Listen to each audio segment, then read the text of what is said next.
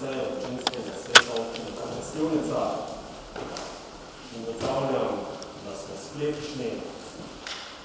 Opravičila se je doktor Ravke. Ostali smo tukaj, je 18. Točka 2, pregled in potrditev zapisnika 12. redne seje. Ima kdo kaj na zapisnik? Ugotavljam, da ne. Predlagam sklep občinski svet občine Hoče Slivnica potrdi zapisnik 12. redne seje. Kdo je za ta sklep, naj to potrdi z dvigom roke. 4, 5,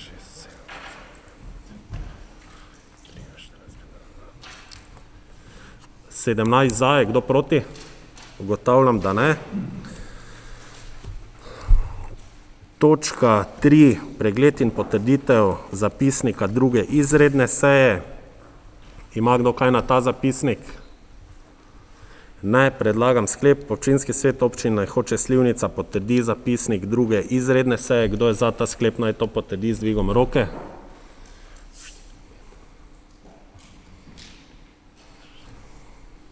Soglasno, hvala. Točka štiri je seznanitev z zapisnikom šestnajste korespondenčne seje. Ima kdo kaj na ta zapisnik? Ne.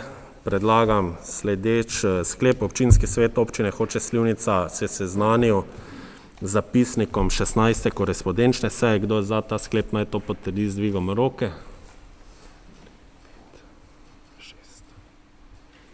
Soglasno, hvala.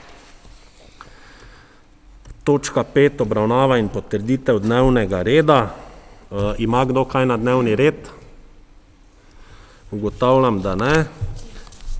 Glede na to, da so pri splošnih pogojev poslovanja JMSS Maribor potrdila že Mestna občina Maribor in še en občinski svet ter je zadeva že objavljena v MUV-u, je nesmiselno, da to obravnavamo, tako da šesto točko umikam in predlagam dnevni red torej brez točke šest. Kdo je za tak dnevni red, naj to potrdi z dvigom roke. Pet, šest, sedem. Soglasno, hvala.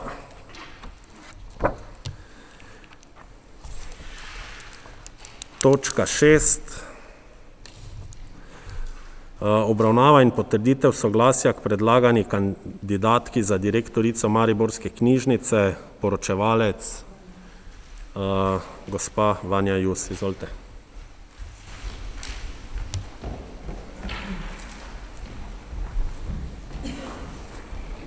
Pozdravljeni vsi skupaj. Na tem mestu bi opravičila predsednici sveta, gospo Majdo Podrata, in bi jaz predstavila samo točko. In sicer svet mariborske je pozval k podaji soglasja imenovanju predlagane kandidatke za direktorico mariborske knjižnice. Svet mariborske knjižnice je na objavljen razpis za prosto delovno mesto direktorja mariborske knjižnice prejel eno vlogo. Glede na to, da je kandidatka gospa Dragica Turjak izpolnjuje vse zahtevane razpisane pogoje, je svet knjižnice sprejel sklep, da jo predlaga za direktorico mariborske knjižnice naslednjem mandatu. Zato vas prosim, da sprejmete predlog sklepa, ki ga imate pripravljenega. Hvala. Zadevo je obravnaval Odbor za negospodarske dejavnosti. Izvolite. Člani Odbora za negospodarske dejavnosti predlagajo občinskemu svetu, da poda soglasje k imenovanju predlagane kandidatke gospe Dragice Turjak za direktorico mariborske knjižnice. Hvala. Hvala. Odpiram razpravo. Ni razpravljavcev. Predlagam sklep, občinski svet občine Hoče Slivnica daje soglasje k imenovanju predlagane kandidatke gospe Dragice Turjak za direktorico mariborske knjižnice. Kdo je za ta sklep, naj to potrdi z dvigom roke.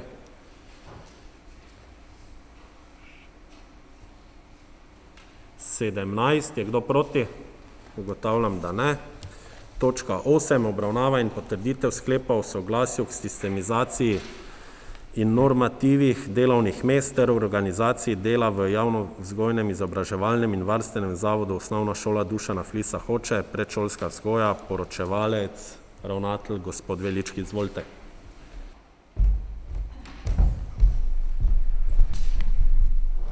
Spoštovani gospod župan, gospod direktor, svetnice in svetniki, spoštovani člani občinske uprave.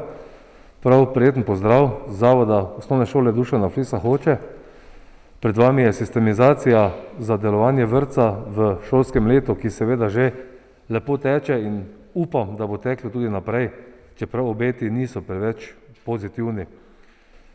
Sistemizacija je seveda letos precej drugačna v primerjavi z ostalimi leti, kajti predvsem po vaši zaslugi, ker ste znali prisluhniti staršem v tej občini, ki imajo male otroke in je dejansko bilo popraševanje po prostih mestih v vrtcih vedno večje, se je zgodila ta prelepa zgodba v naši občini, da smo v Hočah dobili prelep nov vrtec, ki sedaj tukaj v Hočah šteje 13 oddelkov in 5 v Rogozi, skupaj torej 18 oddelkov, kar pomeni, da se je sistemizacija tudi bistveno povečala, pomeni, da smo morali zaposliti šest novih vzgojiteljic oziroma pomočnic in hkrati seveda tudi nekaj tehničnega kadra, tako da je sistemizacija pripravljena po veljavni zakonodaji. Lahko ste si jo pogledali, če je kakšno vprašanje, bom rade volje tudi pojasnil, sicer pa predlagam, da jo sprejmete.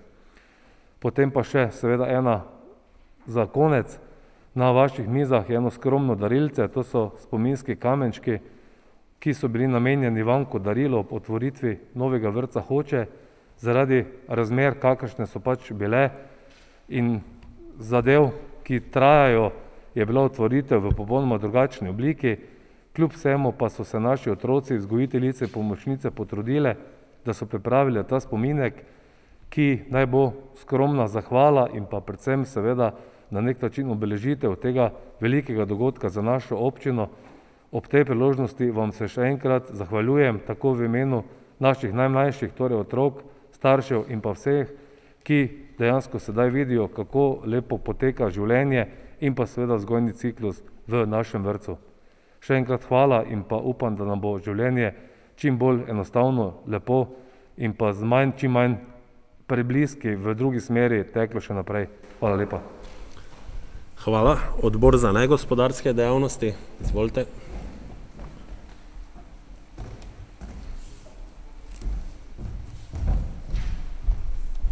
Člani odbora za negospodarske dejavnosti predlaga občinskemu svetu, da potrdi sklep o soglasju k sistemizaciji in normativih delovnih mest ter organizaciji dela v javno-vzgojnem izobraževalnem in varstvenem zavodu Osnovna šola Dušana Flisa Hoče, vrtec Hoče in vrtec Rogoza. Hvala. Odpiram razpravo. Ni razpravljalcev, predlagam sklep. Občinski svet občine Hoče Slivnica potrdi sklep o soglasju k sistemizaciji in normativih delovnih mest ter organizaciji dela v javnem vzgojno-izobraževalnem in varstvenem zavodu Osnovna šola Dušana Flisa Hoče, vrtec Hoče in vrtec Rogoza. Kdo je za ta sklep, naj to potrdi z dvigom roke. Soglasno, hvala. Točka devet. Obravnava in potrditev sklepa o soglasju k sistemizaciji normativih delovnih mest ter organizaciji dela v javno-vzgojno-izobraževalnem in varstvenem zavodu Osnovna šola Franca Lešnika Vuka Slivnica pri Mariboru, predšolska vzgoja, poročevalec gospa Vogrinec Zdenka, izvolite. Spoštovani gospod župan, gospod direktor, svetnice in svetniki in občinska uprava, lepo pozdravljeni tudi v mojem imenu. Vrtec Slivnica smo štartali v šolskem letu z sedmimi oddelki, tako kot vsa leta od otvoritve 2014 naprej. V vrtcu imamo pet homogenih oddelkov, enega kombiniranega in enega heterogenega.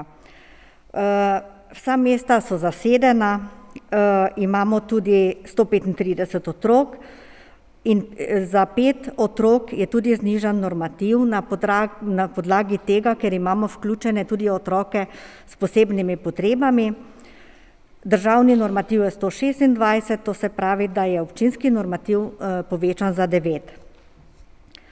Tukaj bi tudi glede na to, da še v našem vrtcu smo imeli komisijo za sprejem otrok in smo odklonili osemnajst otrok prvega starostnega obdobja, prvo starostno obdobje se zahvaljujem vrtcu Hoče, da se, da je lahko sprejelo osem otrok, ostali otroci so čakajoči, ampak od teh osemnajstih je tudi pet otrok, ki so iz drugih občin. Zdaj sistemizacija sama je seveda pripravljena na osnovi zakonskih normativov, Od lanskega leta na to šolsko leto ni sprememb in jaz predlagam, da se sistemizacija za osnovno šolo Franca Lišnika Vuka, vrtec Ljivnica, sprejme. Hvala lepa. Hvala. Zadevo je obravnaval odbor za negospodarske dejavnosti. Izvolite. Člani odbora za negospodarske dejavnosti predlaga občinskemu svetu, da potrdi sklep o soglasju k sistemizaciji in normativih delovnih mest ter organizaciji dela v javno-vzgojnem izobraževalnem in varstvenem zavodu Osnovna šola Franca Lešnika Vuka Slivnica pri Mariboru, vrtec Slivnica. Hvala. Hvala. Odpiram razpravo. Ni razpravljalcev. Predlagam sklep občinski svet občine Hoče Slivnica potrdi sklep o soglasju k sistemizaciji in normativih delovnih mest ter organizaciji dela v javno-vzgojno-izobraževalnem in varstvenem zavodu Osnovna šola Franca Lešnika Vuka Slivnica pri Mariboru, vrtec Slivnica. Kdo je za ta sklep, naj potrdi z dvigom roke. Pet, šest, sedem. Soglasno, hvala. Smo pri točki devet, seznanitev občinskega sveta s trendi varnostnih pojavov v občini Hoče Slivnica. Aha, gospod Šprah, nisem vas videl, ker ste bili skriti. Izvolite. Spoštovani župan, spoštovani direktor, spoštovane svetnice, svetniki, lepo vas pozdravljam v imenu policijske postaje Rače. Danes vam bom predstavil varnostne trende na območju vaše občine za leto 2019. Sicer smo že proti koncu leta 2020, vendar vam lahko povem, da so trendi skoraj podobni kot v, v tem letu, ki vam bo zdaj predstavil. Torej v letu 2019 smo obravnavali 231 kaznjivih dejanj, v letu 2018 pa smo jih obravnavali 60 kaznjivih dejanj več, torej je nekoliko upadlo, so v neko upadlo kazniva dejanja. Raziskanost je 49-procentna, kar pomeni, da raziščemo vsako drugo kaznivo dejanje. Po posameznih poglavjih kazenskega zakonika je bilo v letu 2019 obravnavanih dve kaznivi dejanji zoper življenje in telo, tukaj gre predvsem za telesne poškodbe, torej hude in lahke telesne poškodbe, devet kaznivih dejanj zoper človekove pravice in svoboščine, dve kaznivi dejanji zoper spolno nedotakljivost, sedemnajst kaznivih dejanj zoper človekovo zdravje, dvanajst kaznivih dejanj zoper zakonsko zvezo, družino in otroke, predvsem govorimo o nasilju v družini, pet kaznivih dejanj zoper delovno razmerje in socialno varnost in sto štirideset kaznivih dejanj zoper premoženje, pri čemer je raziskanost premoženjskih kaznivih dejanj, torej govorimo o vlomih in v tatvinah, osemindvajset cela tri odstotke. Obravnavali smo tudi še petindvajset kaznivih dejanj zoper gospodarstvo, torej govorimo o gospodarski kriminaliteti in dva in pet kaznivih dejanj zoper javni red in mir. V letu dva tisoč devetnajst nismo obravnavali kaznivih dejanj s področja organizirane kriminalitete, tako da tudi to je pozitivno na področju vaše občine. Največ kaznivih dejanj beležimo še vedno na lokacijah, kot so bencinski servisi Petrol, Slivnica ena in dva ter MOL, tu gre predvsem za tatvine goriva, ter seveda industrijska cona Spodnje Hoče, vlomi v vozila, delovne stroje, tatvine goriv ter vlomi v poslovne objekte in seveda potem vlomi v stanovanjske hiše na območju celotne vaše občine. Kar se tiče javnega reda in miru, obravnavali smo dvesto dvainštirideset pojavov, to je kar nekaj več kot leto poprej, takrat smo jih obravnavali sto sedeminosemdeset, gre pa predvsem za kršitve predpisov, ki urejajo področje javnega reda in miru, govorimo seveda o prekrških. Obravnavali smo tudi še deset kršitev po Zakonu zaščiti živali, enaindvajset kršitev po Zakonu o tujcih, sedemnajst kršitev po Zakonu o proizvodnji in prometu s prepovedanimi drogami, dvajset kršitev po Zakonu o preji prebivališča, pet kršitev po Zakonu o eksplozivih in pirotehničnih izdelkih, dve kršitvi po Zakonu o osebni izkaznici, šest kršitev po Zakonu o orožju ter tri kršitve po Zakonu o javnih zbiranjih. Kar se tiče prometa, obravnavali smo dvesto deset prometnih nesreč na območju vaše občine, to je kar neki porast, ker leto poprej jih je bilo samo sto štiriinsedemdeset. Veseli smo, da ni bilo nobene smrtne žrtve v letu dva tisoč devetnajst v prometu na območju vaše občine, so pa bile štiri osebe hudo telesno poškodovane, enaka številka hudo telesno poškodovanih je bila tudi v letu dva tisoč osemnajst. Štiriinšestdeset prometnih nesreč je končalo z lahkimi telesnimi poškodbami, ostali pa z materialno škodo. V sodelovanju s policisti drugih policijskih postaj, seveda veste, da tukaj ne krožijo samo patrulje Policijske postaje Rače, predvsem mi krožimo, ampak tudi ostale policijske enote, kot so prometna policija, smo skupaj izrekli tisoč štiristo tri globe. To je nekoliko manj kot eno leto poprej. Izdali smo še 21 odločov prekrškov v hitrem postopku, podanih pa je bilo tudi 110 predlogov za vedo prekrškov pri sodniku za prekrške, tu gre predvsem za vožnjo pod vplivom alkohola. Izrekli smo tudi 89 opozoril zaradi kršitve cestno-prometnih prekrškov, torej gre za uh, manj hude prekrške. Kar se tiče tujcev, smo obravnavali uh, dva tujca več kot eno leto poprej, uh, 21-19. Tu smo predvsem ugotavljali nastanitev, bivanje ter zaposlovanje tujcev, ali imajo seveda ti tujci pogoje za zakonit vstop in delo v Republiki Sloveniji. Kar se tiče preventivne dejavnosti, smo evidentirali na, vašem, na območju vaše občine 144 takih preventivnih aktivnosti. Pri tem smo uspešno sodelovali z lokalno skupnostjo občino Hoče Slivnica, njenimi krajnimi skupnostmi, javnimi zavodi, društvi, drugimi. V šolah je bilo izvedenih več predavanj o varnosti v cestnem prometu in medvrstniškem nasilju. Sodelovali pa smo tudi pri izvedbi kolesarskih izpitov, izvedena so bila predavanja po projektu Policist Leon svetuje, Otroci obeh šol so sodelovali v preventivnem projektu Otrok policij za en dan, udeleženi pa so bili tudi na otroški varnostni olimpijadi. Tudi v vrtu smo izvedli več obiskov otroke, z njimi smo se predvsem pogovarjali o varnosti v cestnem prometu. S doseženimi rezultati v letu 2019 ugotavljamo, da je varnostna situacija na območju vaše občine ugodna in obvladljiva. Če mi dovolite, bi še odgovoril na vprašanje spoštovanega gospoda Vrhovška. In sicer tako kot mi tudi on opaža, se pravi vse več, uh, bi rekel temu, nepravilno parkiranih vozil na območju Hočkega pohorja, to so predvsem tista vozila oziroma tisti ljudje, ki hodijo nabirati razne dobrine v gozdove. Tudi mi se soočamo na območju ostalih občin z tako imenovanim ropanjem gozdov, torej kostanji, gobe, tu že več malo kdo upošteva, se pravi to normo dveh kilogramov in tako naprej. Gospod Vrhošek je tudi poslal uh, nekatere slike teh vozil in sicer takole. V naravnem okolju je prepovedano voziti, ustaviti, parkirati ali organizirati vožnje z vozili na motorni pogon. Uh, to določa zakon o hrane narave. Ne glede na to, pa je dovoljena ustavitev in parkiranje vozil na motorni pogon v, v pasu petih metrov izven vozišča. Uh, na hitro sem pregledal te slike, ki jih je poslal gospod uh, spoštovani gospod Svetnik, eh, videl sem, da sicer vozila so parkirana v manjše paso kot 5 metrov, tako da zaenkrat ne moramo tukaj govoriti, govoriti o tistem pasu 5 metrske, kar pomeni, da, je, da ne kršijo zakon o ohranjanju narave. Uh, v, v zvezi nabiranja dobrin v gozdovih, se pravi predvsem kostanje gob, Eh, in odnašanje večjih količin ne teh iz gozda, kot je zakonsko dovoljeno, vam odgovarjamo, da je omenjena kršitev sicer v izvirni pristojnosti inšpektorata Republike Slovenije za kmetijstvo in gozdarstvo, vkolikor policist zazna tak prekršek, poda predlog drugemu prekrškovnemu organu. Seveda se bomo policisti odzvali na vsak klic, ki bi imel znake omenjenega prekrška. V zvezi vašega predloga, spoštovani svetnik, da nadziramo kolesarje, ki se vozijo ki se ne vozijo po novo zgrajeni kolesarski cesti, se s tem popolnoma strinjamo, opažamo, da predvsem tisti, ki so malo več kot samo rekreativci, se še vedno vozijo po cesti eh, in temu bomo namenili večjo, večjo pozornost oziroma imeli malo več postrenih nazorov v zvezi uh, vožnje z kolesom po površini, ki ni, njem ni namenjena. Toliko za enkrat o tem.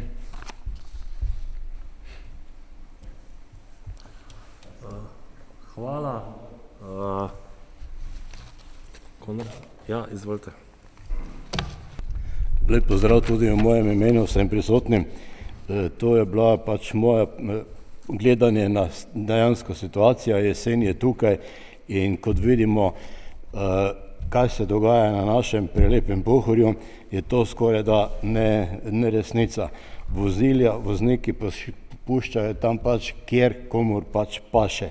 Mi smo pred eh, kratkim imeli celo intervencijo, da smo morali eno vozilo odstraniti, hvala Bogu je bil potem voznik toliko, ker smo pač trije, štirje prišli tja, toliko videl, pa rekel, ja, vse nisem mislil, da se tu kmetje vozijo. Ja, fantje, dragi, pot je, cesta je, kmet ni moral niti na nivo zapeljati svoje ustrezne opreme. Uh, vozila puščajo tam pač, ker puščajo, kot sem rekel, največji problem je, da prinesejo sabo veliko stvari, največ pa postijo vse tisto dejansko v narave, v gozdu. Iz gozda odnesejo vse, kar poberejo, pa ne samo iz gozda, tudi iz njo smo zasledili, da če ni bilo dovolj natovorjenega, poberejo še tudi pridelke, ki so še bili ostali na vsem tem. Mislim pa, da bo vse skupaj to nekako mir če bo malo večje kontrole in pa seveda predlagal bi, da se tu vključi tudi gozni inšpektori, da naredijo in kontrolirajo vse te prihode, odhode in pa seveda ljudje nabirajo požaklje ko stanju in jih odnosijo in predajajo naprej. Hvala. Hvala. Mi smo zadevo prejeli, smo posredovali policijski postaje Rače, bomo pa, prosim zapišite, ne, bomo tudi na gozdni inšpektorat oziroma inšpektorat za kmetijstvo in gozdarstvo. Še kdo razprava je odprta? Ugotavljam, da ne. Hvala za poročilo. Predlagam sklep, občinski svet občine Hoče Slivnica se seznani s trendi varnostnih pojavov v občini Hoče Slivnica v letu 2019. Kdo je za ta seznanitveni sklep, naj to potrdi z dvigom roke.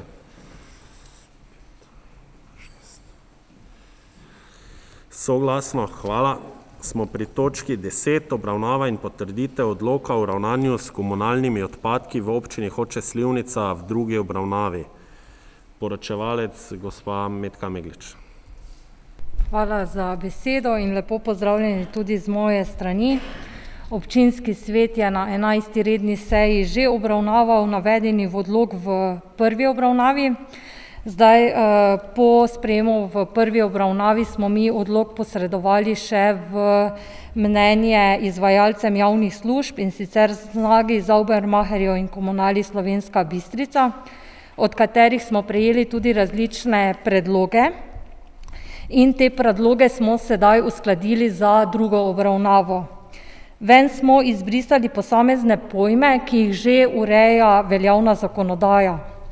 Prav tako smo ven izbrisali volumne posod, ker smo se odločili, da bo to urejal tehnični pravilnik. Hvala. Odbor za finance, izvolite. Spoštovane kolegice, spoštovani kolegi, dober dan. Člani odbora za finance smo na svoji trinajsti redni seji obravnavali, potrdili in tudi predlagamo občinskemu svetu, da ta potrdi odlok o ravnanju s komunalnimi odpadki v občini Hoče - Slivnica v drugi obravnavi. Hvala. Odbor za okolje in prostor, izvolite.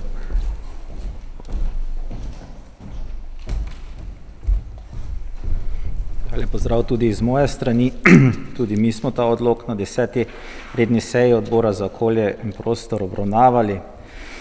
Jaz bi samo rad še povedal, da od svetnikov nismo dobili nobenega predloga med majem in zdaj, tako da smo potem samo upoštevali predloge, tako je gospa Metka rekla, Snage in Saubermacherja. In nato smo zdaj na seji sprejeli sklep, da člani odbora za okolje in prostor predlagajo občinskemu svetu, da potrdijo odlok o ravnanju s komunalnimi odpadki v občini Hoče - Slivnica v drugi obravnavi. Hvala. Hvala. Statutarno-pravna komisija. Izvolite.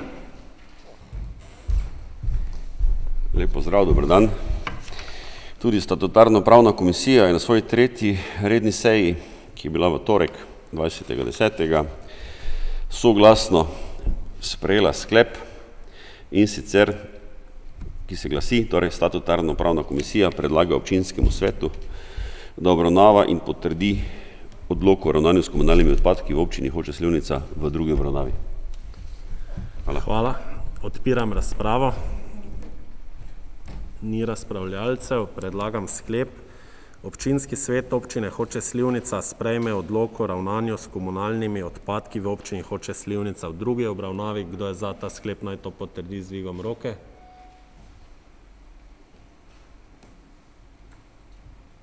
Soglasno, hvala. Točka enajst, obravnava in potrditev odloka o podelitvi koncesije za izvajanje gospodarske javne službe ravnanja s komunalnimi odpadki z območja občine Hoče - Slivnica v drugi obravnavi. Poročevalec, gospa Metka Meglič, izvolite. Ja, tudi ta odlog ste že svetniki obravnavali na 12. redni seji. Naj uh, uvodoma povem, da tu se je zgodila ena bistvena sprememba in spremenili smo uh, ime odloka in sicer spremenili smo ga z razlogom za to, da zajamemo vse vrste javne službe, kot so uh, zbiranje, obdelava in odlaganje odpadkov. Zato sta tudi potem prilagojeni četrti 8. in pa 23. člen tega odloka. Ostalih eh, pripomb eh, s strani svetnikov ali pobud nismo prejeli, zato je odlok v, pripravljen v isti vsebini, kot je bil potrjen v prvi obravnavi. Hvala. Odbor za finance, izvolite. Člani odbora za finance predlagamo občinskemu svetu, da potrdi odlok o podelitvi koncesije za izvajanje gospodarske javne službe obdelave določenih vrst komunalnih odpadkov z območja občine Hoče Stivnica v drugi obravnavi. Hvala. Odbor za okolje in prostor, izvolite. Člani odbora za okolje in prostor predlagajo občinskem svetu, da potrdi odlok o podelitvi koncesije za izvajanje javne službe obdelave določenih vrst komunalnih odpadkov z območja občine Hoče Slivnica v drugi obravnavi. Hvala. Statutarno pravna komisija, izvolite. Statutarno pravna komisija predlaga občinskemu svetu, da obravnava in potrdi odlok o podelitvi koncesije za izvajanje gospodarske javne službe obdelave določenih vrst komunalnih odpadkov z območja občine Hoče Slivnica v drugi obravnavi. Hvala, odpiram razpravo. Ni razpravljalcev, predlagam sledeč sklep.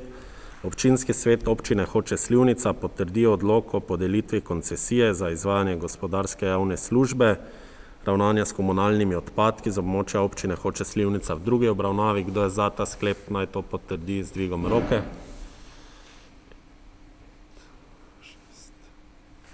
Soglasno, hvala. Točka 13. Obravnava in potrditev odloka o ustanovitvi javnega zavoda Regionalna razvojna agencija za podravje Maribor, prva obravnava poročevalec, gospod Uroš Rozman, direktor Mariborske razvojne agencije. Lep pozdrav vsem eh, svetnicam in svetnikom ter eh, seveda županu. Eh, torej, občina Hoče Slivnica je na eni od prejšnjih sej v letošnjem letu potrdila sporazum o delitvi ustanoviteljskih deležov v Mariborski razvojni agenciji med občinami soustanoviteljicami. Ta sporazum je bil potrjen prvič po več kot 20 letih, odkar so občine se odcepile od matične občine, mestna občina Maribor in tako prvič rešile osnovni problem delitve deležev v razvojni agenciji. Ta sporozum je sedaj osnova, da lahko uh, agencija tudi seveda dobi nov odlog, v katerem se seveda pravice uh, določijo tudi vsem ustanoviteljicam in tako v bistvu uh, rešimo težavo, ki je v agenciji prisotna že zadnjih 20 let. Tako da se vam za to potrditev sporozuma še enkrat izredno zahvaljujem. Eh, sedaj pa smo seveda morali v čim krajšem času tudi pripraviti predlog novega odloka, eh, ki eh, ga mora potrditi torej vseh šest občin soustanoviteljic. Prva mestna občina Maribor ga je potrdila na zadnji seji ta ponedeljek, tako da sedaj v bistvu moramo ta odlok nekako Eh, potrditi oziroma morate potrditi še vse ostale članice, da bomo nekako imeli soglasje vseh in se lahko potem ta odlog tudi vpiše v sodni register in postane tudi veljaven odlog. Po uh, novem odloku, ki ga predlagamo, uh, bi odstranili kratico PO v imenu, saj ta kratica ni več veljavna in seveda bi spremenili tudi sam status agencije v javni zavod, kar je formalna pravna oblika Eh, v tem trenutku. Predlagamo tudi novo ime, torej eh, spremenili bi v regionalno razvojno agencijo Podravje Maribor, s čim bi eh, regionalna razvojna agencija z imenom nakazala tudi željo po sodelovanju in podpori razvoja regije in ne samo mesta Maribor, tako kot je imela v imenu do sedaj. Seveda verjamemo, da že imamo pomembno vlogo v regiji in z, z to spremembo vizije in strategije agencije bomo to vlogo še povečali in seveda izboljšali. Z uh, spremembo odloka bo omogočena tudi raziskovalna uh, naloga oziroma možnost raziskovalne inštitucije, kar je pomembna naloga agencije, da se lahko bolje povezuje z univerzo in gospodarstvom v podravju. V reorganizaciji in v odloku imamo zavedene tudi sektorje oziroma področja delovanja agencije. Eh, določeni so štiri sektori. Sektor za regionalni razvoj, ki ga agencija eh, že ima, sektor za podjetništvo, ki ga prav tako že ima razvojna agencija, eh, dodana sta dva nova sektorja, sektor za raziskave, razvoj in inovacije ter sektor za turizem. Predvideno je, da bi se v ta sektor za raziskave, razvoj in inovacije pripojil Štajerski tehnološki park, ki je trenutno v 100% lasti Mariborske razvojne agencije in je bil ustanovljen leta 1994, eno leto po ustanovitvi Mariborske razvojne agencije, ki je bila ustanovljena leta 1993. Štajerski tehnološki park ima tri zaposlene in se eh, njen sedež trenutno nahaja v občini Pesnica kjer so tudi objekti, v katerih se eh, ta Štajerski tehnološki park nahaja. Z eh, predlogom novega odloka in za reorganizacijo predlagamo, da se Štajerski tehnološki park pripoji k matični agenciji in s tem poveča eh, svojo raziskovalno funkcijo ter povezanost z regijo in tudi samo agencijo in verjamemo, da bo z pripojitvijo se naloga in funkcija Štajerskega tehnološkega parka lahko še povečala. Na drugi strani pa želimo, da bi eh, svoje delovanje razširili tudi v vse ostale občine in ne samo občino Pesnica in na tak način v bistvu eh, omogočili tudi drugim občinam v okolici Maribora, da se pričnejo tudi razvijati z podporo tehnološkega parka in podjetništva v svojih, bom rekel, nepremičninah in svojih stavbah. Svet zavoda, ki eh, bi bil sedaj sestavljen iz šestih članov, eh, bi imel tri predstavnike mestne občine Maribor, enega predstavnika ostalih ustanoviteljev, enega predstavnika delavcev zavoda ter enega predstavnika uporabnikov oziroma zainteresirane javnosti. Mandat članov sveta zavoda bi trajal štiri leta, torej dve leti več, kot je bil mandat trenutnega sveta zavoda in po poteku bi seveda lahko bili člani ponovno imenovani. Predsednik sveta zavoda eh, bi imenovala večinska ustanoviteljica, torej mestna občina Maribor, namestnika pa bi, izvolile, eh, bi izvolili v člani sveta zavoda med seboj. Opravljanje nalog. Od, odlog predlaga, da bi vsaka občina ustanoviteljica lahko kadarkoli izrazila interes po prenosu katerekoli izmed nalog v skladu s tem odlokom na javni zavod.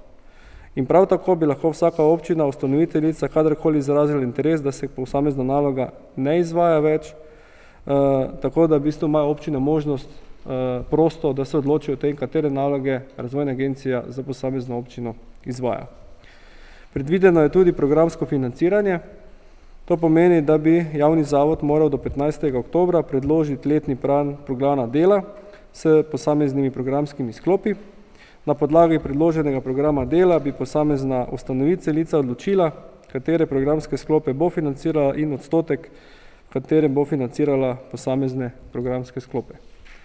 Želja je, da bi seveda občinam, so ustanoviteljicam in tudi drugim občinam v regiji ponudili še več storitev, kot jih ponujamo danes, se še bolj povezali z projekti in na tak način v bistvu pomagali razvijati podravje v eno izmed bolj razvitih regij v Sloveniji. Vse verjamemo, da imamo vse predpozicije, da lahko tudi to postanemo.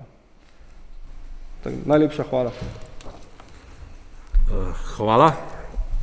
Zdaj mogoče pri tem odloku je najpomembnejši četrti člen od nastanka občine leta 98 do danes občina Hoče Slivnica in občinami Klavš na Dravskem polju sploh nista bila v nobenem deležu kot ustanoviteljici ker se je takrat spustilo, kasnejši župani mestnih občin pa niso imeli volje energije ali kakorkoli, da bi, da bi zadevo popravili, tako da zdaj po dveh županih smo s tretjim in seveda tudi z novim vodstvom uspeli priti do tega odloka. Tako da smo zdaj tudi mi kot soustanovitelj regionalne razvojne agencije, če bo po novem imenovana, zdaj še zaenkrat Mariborske razvojne agencije. Odpiram razpravo. Ugotavljam, da ni razpravljavcev.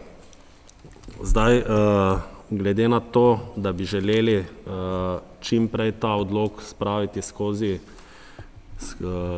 vse občine, smo tudi župani okoliških občin govorili, da bomo zadevo speljali čim hitreje, zato bi predlagal, da se sprejme skladno s hitrim postopkom oziroma skrajšanim postopkom. Tu pa moram prvo preveriti, ali ste za to, da sprejmemo v prvi in drugi obravnavi skupaj. Kdo je za ta sklep? Zdaj dajem na glasovanje, kdo je za to, da danes potrdimo po po skrajšanem postopku, naj dvigne roko, pol bom pa dal glasovati samo sama dva sklepa. Kdo je za to, da sprejmemo po skrajšanem postopku, naj dvigne roko.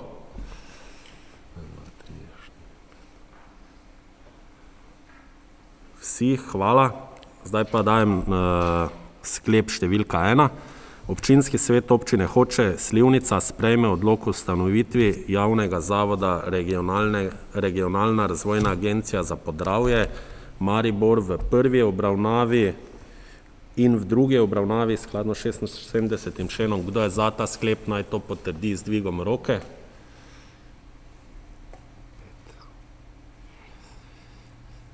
Soglasno, hvala. Sklep številka dva: Občinski svet Občine Hoče - Slivnica poda soglasje za pripojitev Štajerskega tehnološkega parka d. o. o. k javnemu zavodu Regionalna razvojna agencija za Podravje Maribor. Kdo je za ta sklep, naj to potrdi z dvigom roke. En, dva, tri, štiri, pet, šest, sedemnajst, sedem, osemnajst. Soglasno, hvala. Hvala za Najlepša hvala za predstavitev. podporo. Se veselim nadaljnjega sodelovanja. Hvala. Enako. Točka trinajst: Obravnava in potrditev elaborata o oblikovanju cen storitev oskrbe s pitno vodo v Občini Hoče - Slivnica za leto dva tisoč dvajset, kjer gospodarsko javno službo oskrba s pitno vodo izvaja režijski obrat Občine Hoče - Slivnica. Elaborat nam je pripravil Mariborski vodovod, danes ga tudi predstavil gospod Sergej Danč iz Mariborskega vodovoda. Izvolite. Pozdravljeni, hvala za besedo. Kot je dejal gospod župan, moje ime je Sergej Danč, prihajam s podjetja Mariborski vodovod s finančno-računovodske službe. Pred vami je elaborat gospodarske javne službe oskrbe s pitno vodo za režijski obrat v vaši občini za leto dva tisoč dvajset. Ker je elaborat zelo podoben tistemu, ki ste ga obravnavali že v mesecu juniju, se bom osredotočil zgolj na nekatere ključne zadeve. Torej režijski obrat v vaši občini izvaja storitve javne službe oskrbe s pitno vodo na območju sledečih naselij, to so Slivnica, Radizelj, Čreta, Polana, Pivola, Hočko - Pohorje, Slivniško Pohorje, Spodnje Hoče in Zgornje Hoče. Sam elaborat je pripravljen na podlagi uredbe o metodologiji za oblikovanje cen storitev obveznih občinskih gospodarskih javnih služb varstva okolja ali skrajšano uredba MEDO. Izdelan je z namenom oblikovanja cene izvajanja storitve javne službe. S tem elaboratom izvajalec predlaga, predlaga ceno storitve za območje občine in jo predloži pristojnemu občinskemu organu v potrditev. Pred uveljavitvijo nove cene pa mora svoje mnenje o skladnosti oblikovanja cene in ustreznosti elaborata podati strokovna služba občine, občina pa določi potrjeno ceno storitve javne službe in morebitno subvencijo. Torej ceno storitve javne službe oskrbe s pitno vodo sestavljata vodarina, to so stroški opravljanja storitve gospodarske javne službe, uporabnikom se zaračunava na osnovi prodane količine vode, izražene v kubičnih metrih, In uh, drugi del uh, je pa omrežnina, to pa je strošek javne infrastrukture in se uporabnikom obračuna na osnovi dimenzije obračunskega vodomera. Uredba MEDO v devetem členu v devetnajstih alinejah zelo pač uh, določa obvezne sestavine elaborata. Jaz bi morda na tem mestu predstavil zgolj uh, tisti dve najpomembnejši, to sta poglavi 5.1, kjer so predstavljene predračunske in obračunske cene uh, vodarine in 5.2, to je omrežnina, kjer so predstavljene uh, predračunske in obračunske uh, cene omrežnine.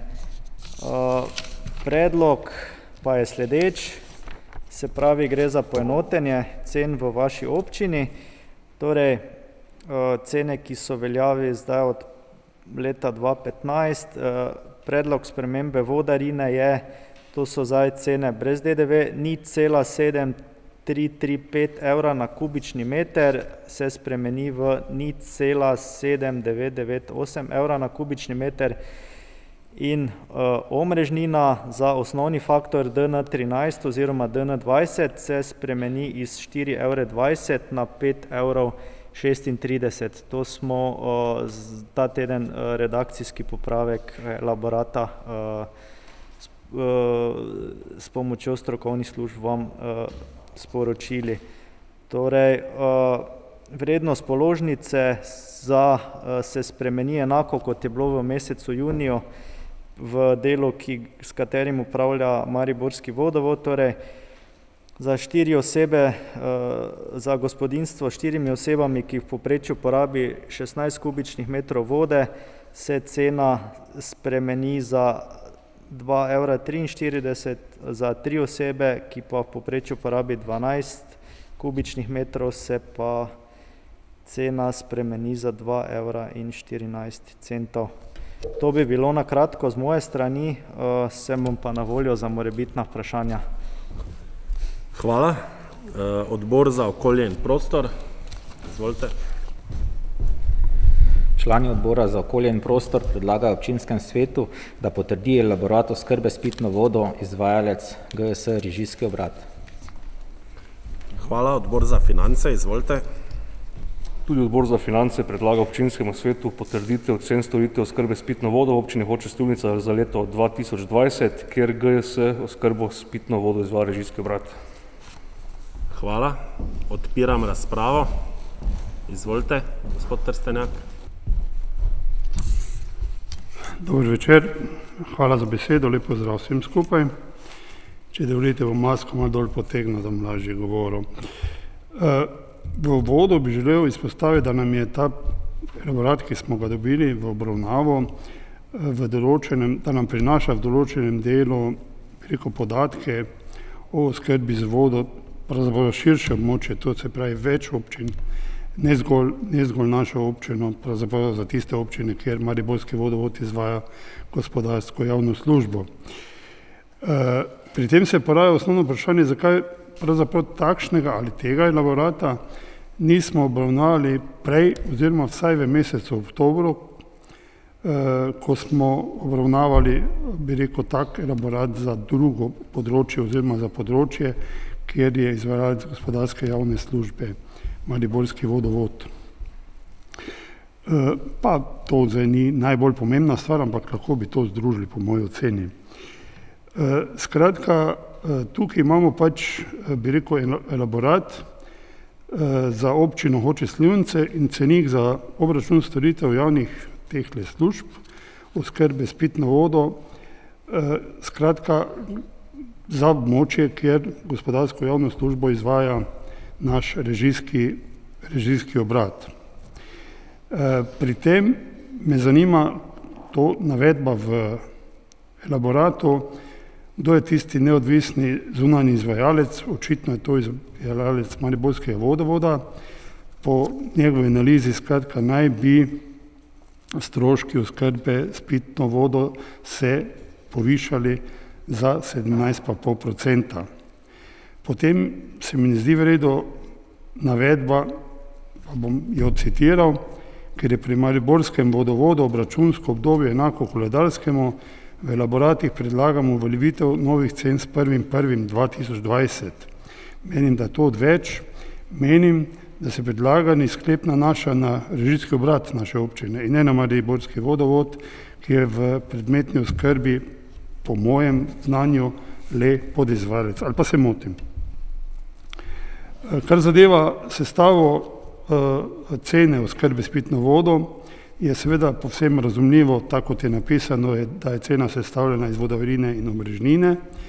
Tudi na strukturo stroškov vodarine pravzaprav nimam posebnih pripomb, eh, ker vem, da pravzaprav določeni del teh stroškov rekel, izvira iz sodelovanja Mariborskega vodovoda, pa me vseeno zanima, ali torej režijski obrat kot izvajalec gospodarske javne službe občini plačuje najemnino za javno infrastrukturo in ali torej občina svojemu režijskemu obratu po veljavnih predpisih iz, eh, zaračunava najemnino vsaj v višini letne obračunane amortizacije. Eh, posebej bi opozoril na v tabelah 5.1.2 navedene predračunske stroške. Iz tabele na strani 10 je razvidno, da naj bi na območju, kjer eh, gospodarsko javno službo izvaja Mariborski vodovod, znašali predračunski stroški vodarine 0,7998 evra na kubik, na območju, kjer pa to izvaja eh, režijski obrat, pa 1,936. To je na nek način nerazumljivo, razen seveda, če to vse skupaj izhaja iz pravzaprav prodane vode. E, ker potem je seveda logično, da se, da se rekel, realni oziroma lastni stroški obračunava in potem je tak razkorak lahko, lahko uh, razumljiv. Uh, ob tem ne smemo pozabiti na že sprejeto izhodišče, tudi moj predhodnik ga je omenil, po katerem naj so cene oskrbe s pitno vodo na celotnem območju občine enake. E, to je moč doseči le za subvencijo cen. Sprašujem se, kako bomo tako velik razkorak v izhodiščnih preračunskih stroških reševali, če subvencija cen ne bi bila več dovoljena. Ali bomo takrat breko obračunavali e, lastno ceno? Naj povem, da niti na prejšnji seji, niti po njej na svoje dvome o realnosti povišene cen nisem prejel nobenega pojasnila. In ker že na predhodni seji predloga za povišene cene nisem podprl, ga ne bom podprl tudi na svoj. Hvala, ker so bi rekel spremembe cene, razlogi za spremembe cene, argumenti identični. Hvala.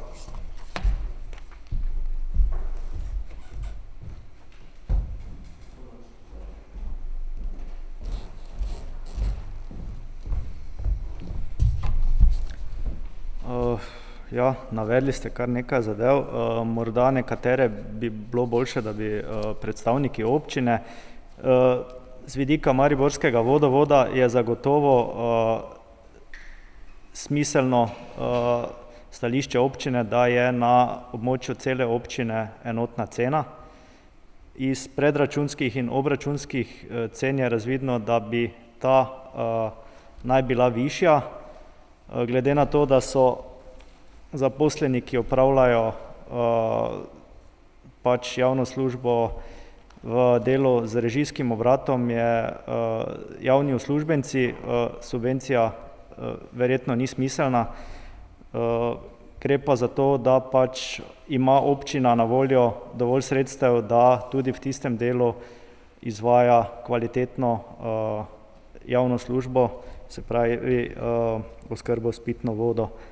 Uh, verjamem, da je kak redakcijski uh, oziroma kak tiskarski škrat, zato se opravičujem, no, če ste tisto opazili, tako da um, glede najemnine morda uh, težko podam komentar, ker pač smo izvajalec s svojim delom. Mi, za nas vem, da plačujemo najemnino mesečno in v obsegu, kot je izkazana v elaboratu. Tako da uh, to je to. No. Iz Hvala. Mogoče z naše strani ta elaborat, mislim, da je stanko tretje leto. Tretje leto za režijski obrat. Moj predhodnik Jože, kljub svetovalcem za komunalo tega nikdar ni naredil, mi smo v to zagrizli, mi smo probali oceniti in to je dejansko stanje. Elaborat je pokazatelj, koliko stroškov je bilo, ki se pač pol razdeli. Zdaj sami elaborata ne znamo, zato smo prosili za ponudbe, mislim, da Mariborski vodovod, eh, pa še koga. Mariborski vodovod je prvo naredil tam, kjer samo eh, dela gospodarsko javno službo in kasneje imel čas za nas, za kar se jim zahvaljujem, drugi se na to niso odzvali, niso želeli elaborata pripraviti, tako da subvencija je potem na, pri točki 19, dokler bom jaz župan, bom vedno predlagal torej enotne cele po celotni občini, je pa sigurno konfiguracija terena tista. Stroški so nižji v Bohovi, Rogozi, Hotinja vas, Orehova vas, spodnje hoče, kot pa v hribovitem delu, ker upravljamo z vodovodi, ki so bili pač predani iz krajevnih skupnosti, vaških skupnosti, ki so bili zgrajeni samostojno, doskrat nestrokovno, predani so bili že, ko so bili stari več deset let, tako da še v prihodnosti bo v te vodovode potrebno mnogo vlagati, dejna zasnova za ureditev vodovodov na Pohorju je ocenjena na 3 milijone, kar pomeni na manjše število priključkov, potem toliko večja omrežnina ali subvencija, torej občinska uprava pripravi to, kar predlagam, torej subvencijo, da je za vse občane enako. Še kakšno vprašanje? Ugotavljam, da ne. Predlagam sklep, občinski svet občine Hoče Slivnica potrdi elaborat o oblikovanju cen storitev skrbe s pitno vodo v občini Hoče Slivnica za leto 2020, kjer GJS oskrba s pitno vodo izvaja režijski obrat občine Hoče Slivnica. Kdo je za ta sklep, naj to potrdi z dvigom roke.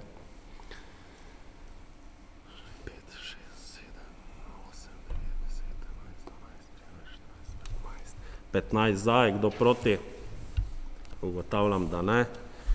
Točka 15, seznanitev s polletnim poročilom, hvala lepa, o realizaciji proračuna občine Hoče Slivnica za 2020. Zdaj, uh, uh, sam elaborat uh, ste dobili, gre torej za izvršena dejstva, zaključni polletni proračun, uh, Je kakšno vprašanje, kak pomislek?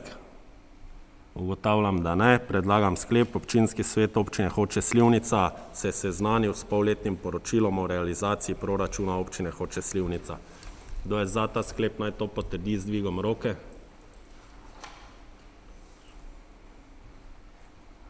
Soglasno, hvala.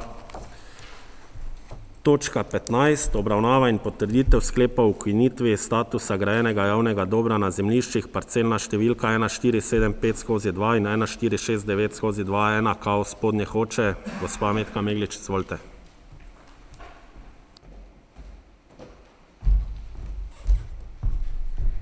Hvala za besedo. Zdaj eh, na občino smo prejeli pobudo za odkup eh, navedenih parcel. Moram povedati, da se čez dve, te dve parceli izdeluje občinski podrobni prostorski načrt in sicer pobudo smo dobili z podjetja Go Asset, ki je tudi hkrati investitor izgradnje logističnega centra.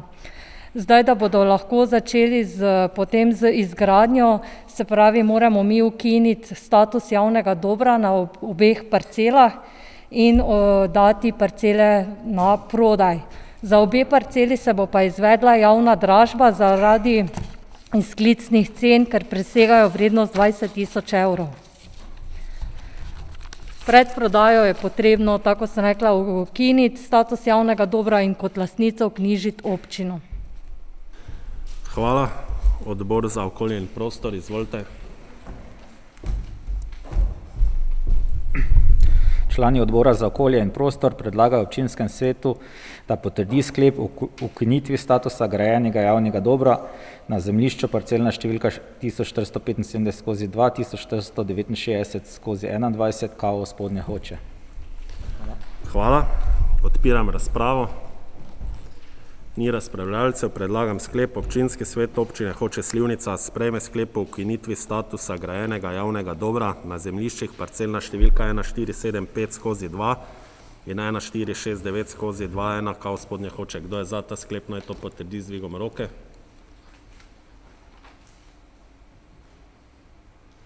Soglasno, hvala. Točka 16. Obravnava in potrditev razlastitvenega elaborata za pridobitev lastninske pravice in sklepa o ugotovitvi javne koristi na parcelni številki 1650 kao spodnje hoče. Poročevalec, gospa Metka Meglič, izvolite. Ja, zdaj čez navedeno zemljišče poteka kategorizirana javna pot in sicer del Hočke ceste. Kot veste, imamo v občini kar nekaj cest, ki jih želimo premoženjsko pravno urediti. Zdaj v preteklem letu smo na tem delu ceste asfaltirali, ker se z lastnikom nismo mogli dogovoriti, da bi odkupili to, ta del parcele, smo dejansko bili primorani vključiti predlog v letni načrt ravnanja s stvarnim premoženjem in odlok o proračunu in si tudi lastniku poslati zavezujočo ponudbo. Lastnik zavezujoče ponudbe, se pravi, ni sprejel oziroma v roku tridesetih dni ni podal nobenega odgovora. Zato predlagamo, da se uvede razlastitveni postopek, in sicer sedaj morate svetniki sprejeti najprej elaborat razlastitveni in ugotoviti, da gre to za javno korist. Nato pa bomo mi podali na upravno enoto predlog, da se uvede razlastitveni postopek in odvzame lastninska pravica. Hvala. Torej, če kdo ne ve točno, kje je to, to je pri Križni kapeli. Občina je izvedla cesto do tja, na drugi strani iz Črete do druge strani, tam pa šestdeset metrov gramozne izvedbe, kjer ne morejo zaradi tam lastnik ne dovoli torej asfaltiranja, ne dovoli izvedbe optičnega omrežja, druge komunalne infrastrukture in predlagam, da se to potrdi. Zadevo je obravnaval Odbor za finance, izvolite. Člani Odbora za finance predlagamo občinskemu svetu, da potrdi razlastitveni elaborat za pridobitev lastninske pravice in sklep o ugotovitvi javne koristi pri parceli številka ena šest pet nič kao spodnje Hoče. Hvala. Odbor za okolje in prostor. Člani Odbora za okolje in prostor predlagamo občinskem svetu, da potrdi razlastitveni elaborat za pridobitev lastninske pravice in sklepa o ugotovitvi javne koristi pri parcelni številki tisoč šeststo petdeset kao spodnje Hoče. Hvala. Odpiram razpravo.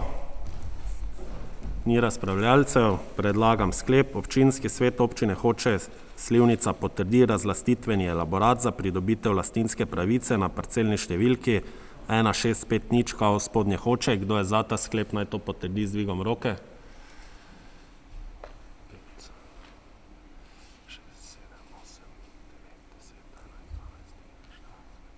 Sedemnajst za, je kdo proti?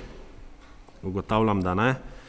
In sklep številka dva: Občinski svet Občine Hoče - Slivnica potrdi sklep o ugotovitvi javne koristi na parcelni številki ena šest pet nič kao spodnje Hoče. Kdo je za ta sklep, naj to potrdi z dvigom roke.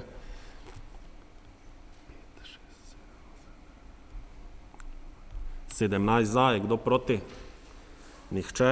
Točka številka sedemnajst: Obravnava in potrditev razlastitvenega elaborata za pridobitev lastninske pravice in sklepa o ugotovitvi javne koristi na zemljišču parcelna številka štiri pet tri skozi štiri kao Hotinja vas. Poročevalec, gospa Meglič, izvolite. Ja, zdaj tudi ta razlastitev je zelo podobna.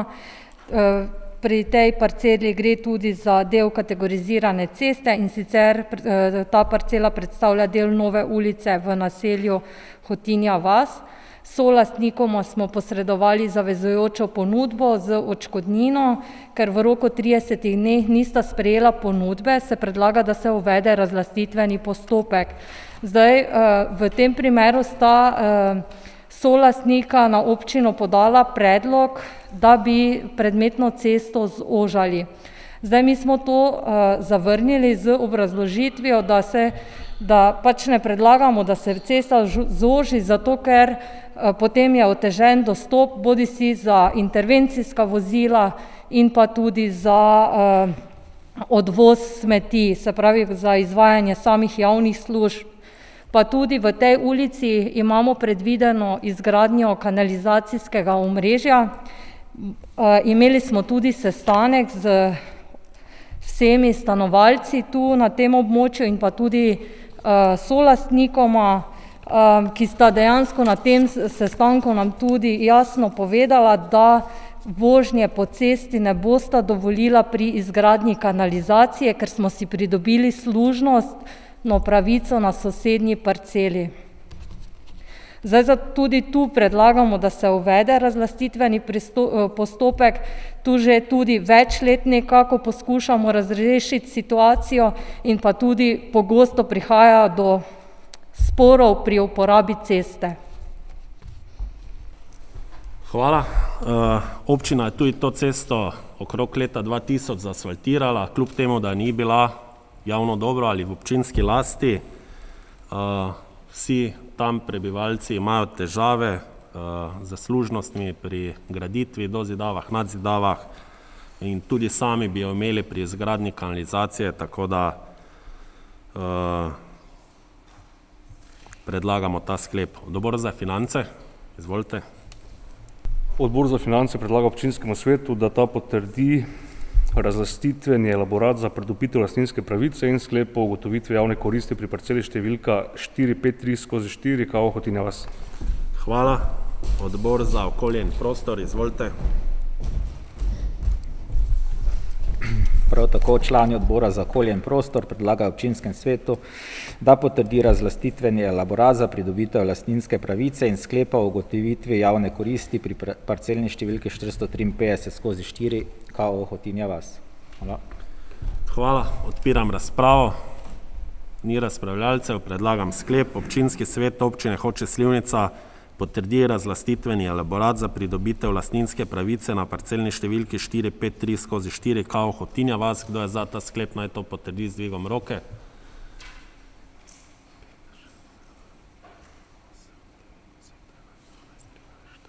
Petnajst za, je kdo proti? Nobeden. Sklep številka dva: Občinski svet Občine Hoče - Slivnica potrdi sklep o ugotovitvi javne koristi na parcelni številki štiri pet tri skozi štiri KO Hotinja vas. Kdo je za ta sklep, naj to potrdi z dvigom roke.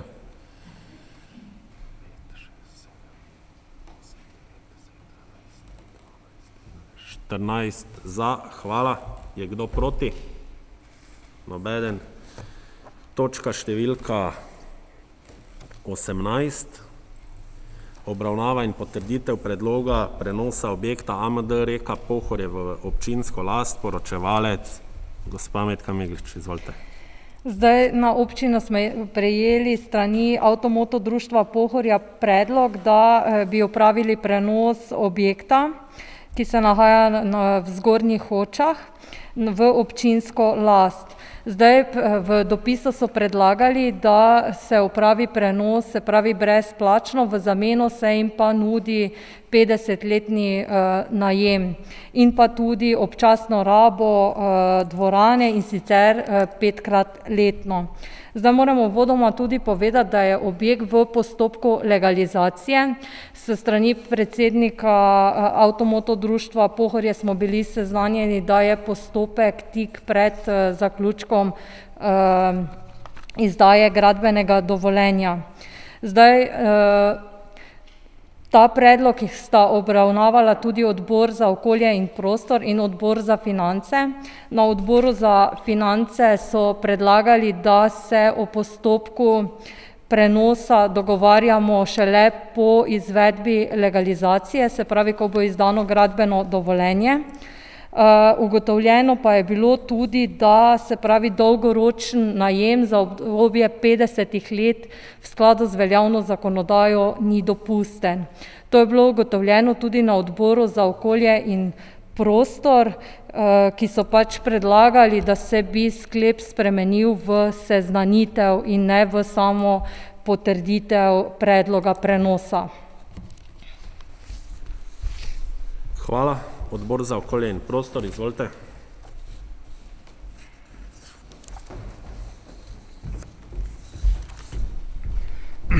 Ja, tako je gospa Metka že povedala, smo na sami seji ugotovili, da občina ne more sprejeti predlog društva AMD Pohorje za 50-letni najem, ker je to v kontradiktorno z o, zakonom o stvarnem premoženju države in samoupravne lokalne skupnosti.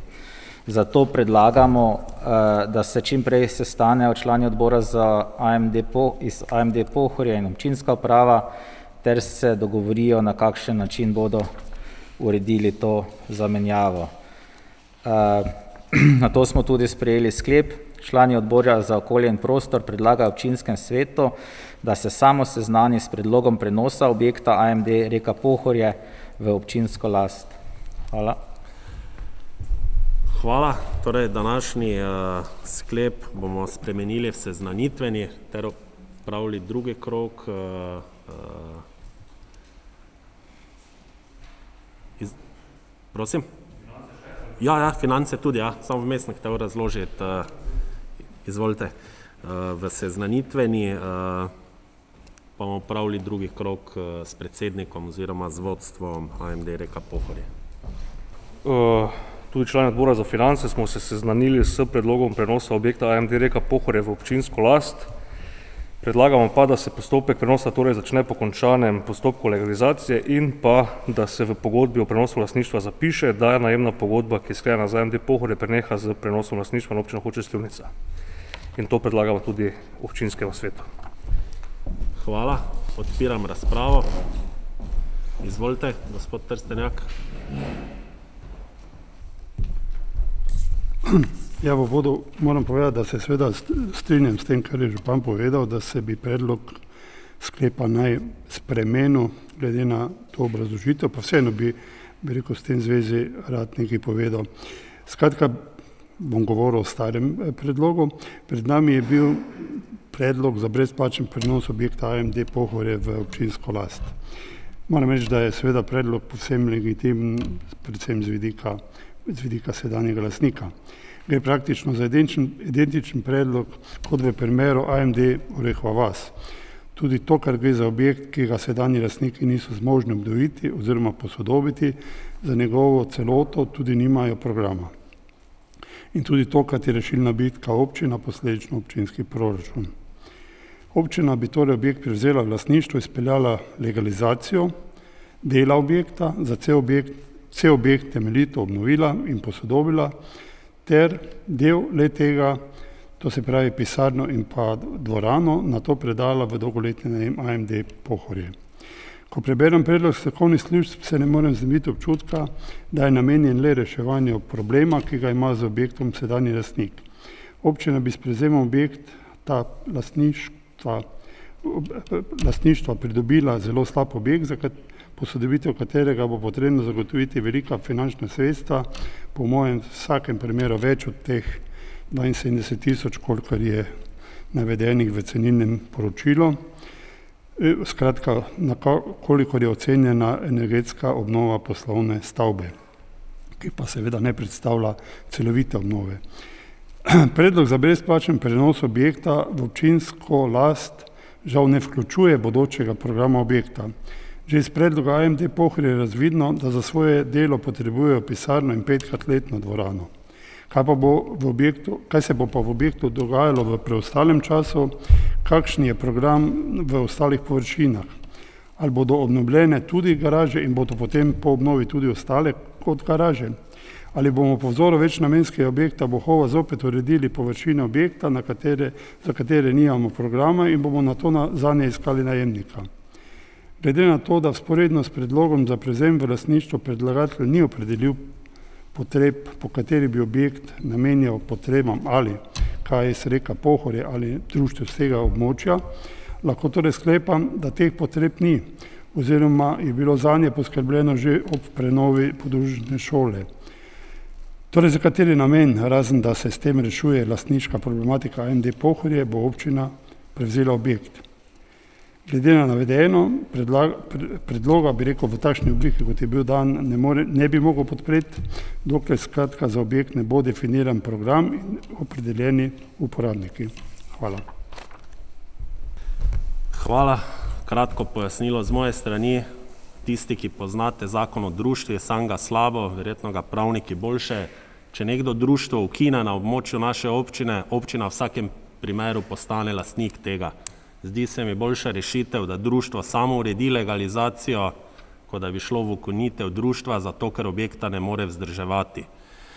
Kot drugo, boljše je, da imamo ta objekt v kraju, v občini, ki je namenjen društvu AMD in tudi drugim društvem, je kar nekaj aktivnosti, ki se že zdaj odvija, uporablja ga tudi nekajkrat letno šola, verjamem, da če bi bil v boljšem stanju še več društev, občanov, eh, predvsem, ampak o programu še nismo govorili, ker rabimo predhodno seznanitev in usmeritev.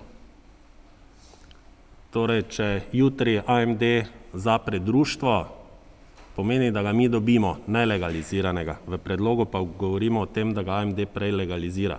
Zato se mi zdi predlog dober, seveda pa v prihodnosti treba dati tudi program, poiskati sredstva uh, za obnovitev samega objekta, verjamem, da to ne bo šlo hitro, ampak bomo iskali tudi sofinanciranje. Razprava je odprta.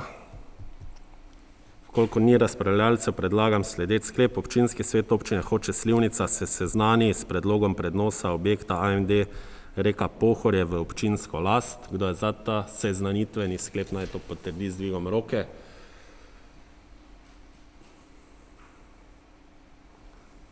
Soglasno, hvala.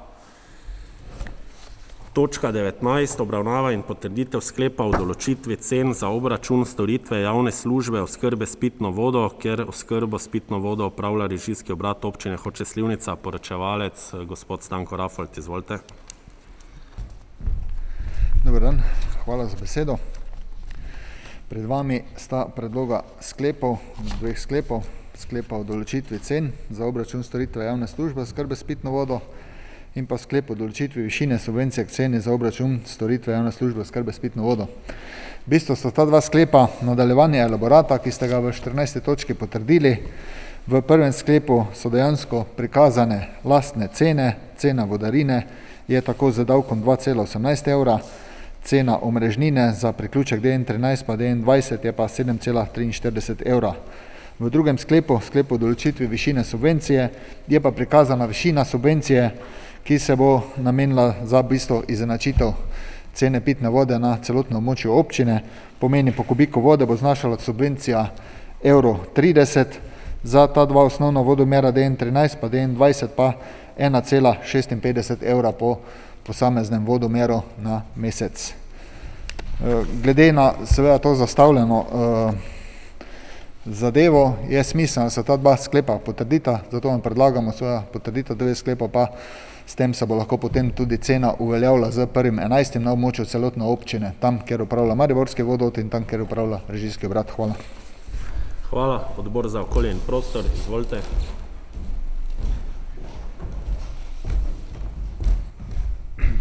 Pod to točko smo sprejeli dva sklepa. Člani odbora za okolje in prostor predlagamo občinskem svetu, da spreme sklep o določitvi cen za obračun storitve javne službe oskrbe s pitno vodo, ker oskrbo s pitno vodo upravlja režijski obrat občine Hoče Slivnica. In drugi sklep, člani odbora za okolje in prostor predlagamo občinskem svetu, da spreme sklep o določitvi višine subvencije k ceni na obračun storitve javne službe oskrbe s pitno vodo, ker oskrbo s pitno vodo upravlja režijski obrat občine Hoče Slivnica. Hvala. Hvala. Odbor za finance, izvolite. Odbor za finance predlaga občinskemu svetu, da potrdi sklep o določitvi cen za obračun storitve javne službe oskrbe s pitno vodo, kjer oskrbo s pitno vodo upravlja režijski obrat občine Hoče Slivnica in pa sklep o določitvi višine subvencije k ceni za obračun storitve javne službe oskrbe s pitno vodo, kjer oskrbo s pitno vodo upravlja režijski obrat občine Hoče Slivnica. Hvala. Odpiram razpravo.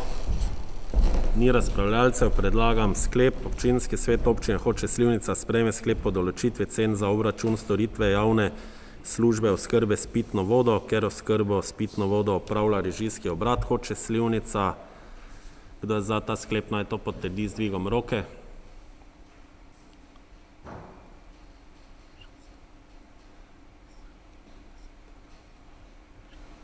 Petnajst za, je kdo proti? Ugotavljam, da ne. In drugi sklep, občinski svet občine Hoče Slivnica sprejme sklep o določitvi višine subvencije k ceni za obračun storitve javne službe oskrbe s pitno vodo, ker oskrbo s pitno vodo upravlja režijski obrat občine Hoče Slivnica. Kdo je za ta sklep, naj to potrdi z dvigom roke.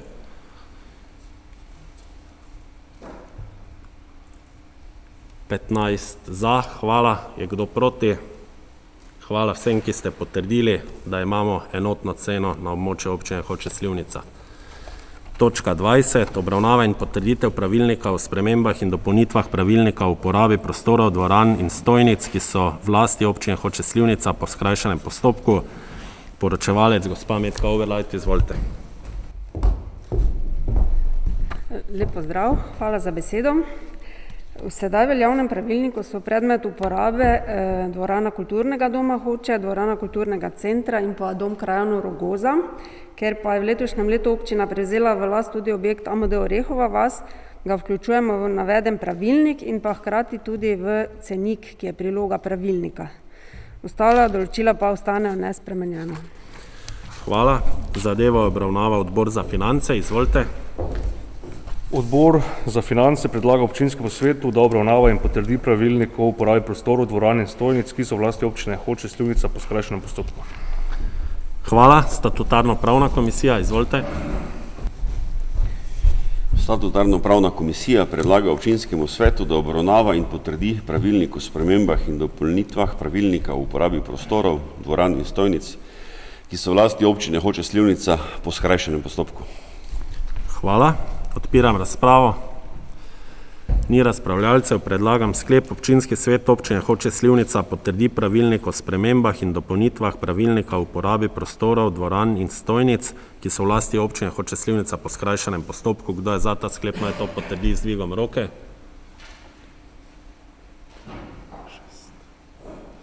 Soglasno. Hvala. Točka enaindvajset, obravnava in potrditev odlok o razpisu svetovalnega referenduma s posebno e-glasovnico po hitrem postopku. Poročevalec, direktor magister Cokan. Lep večer. Vsem pred vami je predlog odloka o razpisu svetovalnega referenduma.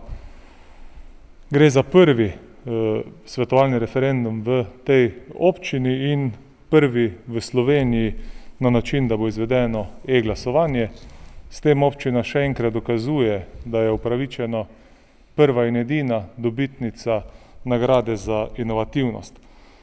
Zdaj krajevna skupnost Rogoza je podala predlog za menjavo poštne številke, ki zadeva tisoč petsto devetindevetdeset prebivalcev z željo, da se se pravi poštna številka, ki jo sedaj uporabljajo od sosednje občine Miklavž na Dravskem polju, spremeni v enotno, se pravi, da tudi tu, da tudi tam uporabljajo poštno številko, kot jo uporabljajo cela druga območja občine, se pravi triindvajset enajst. Zdaj po tej pobudi smo kontaktirali samo Pošto Slovenije, njihova trditev oziroma zahteva je bila, da ni dovolj, da samo občinski svet sprejme to odločitev v skladu z zakonom, ampak da želijo, da da imajo prakso, da se vedno izvede tudi referendum. Glede na situacijo, se pravi covida, smo našli rešitev, na kak način lahko izpeljemo zadeve zakonito, se pravi izvedene bodo tako kot vse ostali referendumi, izvajala jih bo občinska volilna komisija po imeniku, kako lahko zagotovimo, da bojo volitve legitimne, se pravi, da bojo lahko ljudje ne glede na to, kakšna je zdaj situacija, tudi glasovali in pa varne, se pravi. Način, ki bo potekalo, bo, da bo vsak od prebivalcev, se pravi volilnih upravičencev iz Rogoze prejel dva, dva ločena pisma, tako tudi lahko prevzamete drugače ali davčne številke ali osebne dokumente, kateri bojo imeli eno identifikacijsko številko volilca, v drugi ločeni bodo prejeli najmanj devetmestno kodo. Vpisali bojo potem te vse kode na spletno stran, na spletni strani občine Hoče Slivnica, se pravi, bo ta dan devetindvajsetega enajstega možno direktno glasovati. Osebe, ki teh znanj nimajo, ki nimajo računalnikov, bojo lahko prišle tudi fizično v krajevno skupnost Rogoza glasovati, s tem, da bojo tam isto glasovali na elektronski, elektronski napravi. Zdaj proces tu je cirka pol leta, trajajo praktično ključni deležniki, ki se ukvarjajo s področja lokalne samouprave, volitev, varnosti, potem varnosti osebnih podatkov, so bili združeni v eno veliko, veliko projektno skupino, katero imam čast, da vodim in verjamem sem, da bo devetindvajsetega enajstega dva dvajset uspešno izveden prvi ta referendum v državi in širše. Zdaj referendumsko vprašanje ključno, ki je v odloku, je, ali ste za to, da se spremeni prebivalcem krajevne skupnosti Rogoza poštna številka dvaindvajset nič štiri Miklavž na Dravskem polju, poštno številko triindvajset enajst Hoče. Po gre za svetovalni referendum po šestinštiridesetem b členu Zakona o lokalni skupnosti, kar pomeni, se pravi, da občinski svet, preden da sprejme neko odločitev, se z ljudmi posvetuje, potem lahko to upošteva ali pa tudi ne, po zaključku, se pravi, tega svetovalnega referenduma bo, bo potem še občinski svet seznanjen z rezultati in sprejel odločitev tako, kot bo sprejel, če še kako vprašanje ali pa kaj, sem z veseljem na voljo. Hvala. Zadevo je obravnavala statutarno-pravna komisija, izvolite. Statutarno-pravna komisija predlaga občinskemu svetu, da obravnava in potrdi odlok o razpisu svetovalnega referenduma s posebno e-glasovnico. Hvala. Odbor za finance, izvolite. Člani odbora za finance predlagamo potrditev odloka o razpisu svetovalnega referenduma s posebno e-glasovnico po hitrem postopku. Komisija za volitve in imenovanja, izvolite.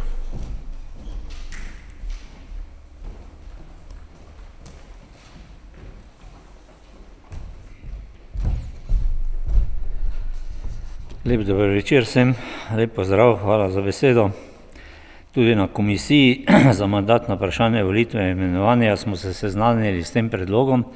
Smatramo, da je to en postopek oziroma da so te volitve dokaz, da smo občina z vizijo, kot imamo napisano na zastavi, tisti, ki pač ste to že videli, pa sem prepričan, da vsi, zato predlagamo občinskemu svetu, da sprejme ta predlog in da omogoči da se Rogožani odločijo, ali bodo pod poštno številko Miklavž ali poštno številko Hoče.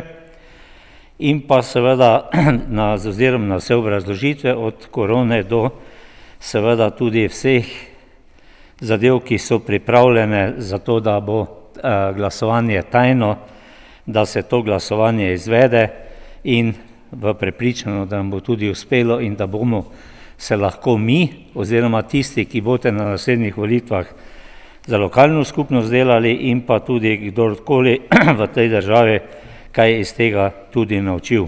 Hvala lepa. Hvala. Odpiram razpravo. Ugotavljam, da ni razpravljavcev. Tukaj naj še samo poudarim, da za občane ni nobenih stroškov, poštna številka ne piše na nobenem dokumentu, tako da gre samo za to, ali bojo pošto hodili iskat v, na pošto v Miklavž, ki dela zdaj samo do petih, vsi verjetno spremljate razpravo o zapiranju pošt, krajšanje delovnega časa, krajšanje delovnega časa pa je uvod k tistemu, da je pošta kasneje dostikrat zaprta. Tako da predlagam, da sprejmemo ta sklep, ker pošta v Hočah pa v Orehovi vasi glede na število ljudi bo verjetno, vsaj upam, da ostala odprta. Predlagam sklep: Občinski svet Občine Hoče - Slivnica sprejme odlok o razpisu svetovalnega referenduma s posebno e-glasovnico po hitrem postopku. Kdo je za ta sklep, naj to potrdi z dvigom roke.